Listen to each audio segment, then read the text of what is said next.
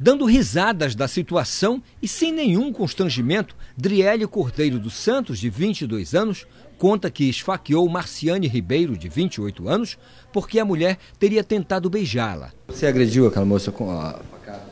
Com certeza. Por quê? Porque eu quis. Mas porque quis é uma razão? O que foi que ela fez para você? Tudo.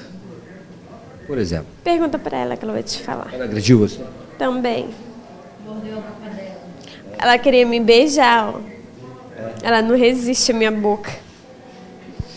Marciane Ribeiro, que sofreu perfurações nas costas e no peito, diz que é mãe de quatro filhos e que não tentou beijar a agressora. Eu não vou nem entrar em detalhes sobre porque uma vagabunda dessa falar que eu faço. Eu, eu, eu, eu, tenho, eu sou mãe de quatro filhos, eu vou me beijar com uma vagabunda.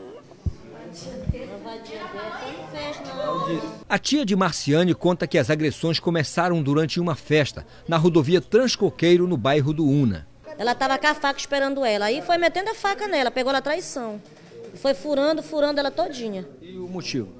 O motivo é rivalidade, que, que é inveja. Ela diz que é inveja. Porque ela diz que ela anda de marca, aquela menina de programa, ela, ela vai com os caras, ela só compra roupa de marca para ela usar, e é, é, viaja para Manaus, para um monte de lugar. E ela diz, é, vocês têm inveja, porque eu só ando na marca e vocês andam só com roupa relé.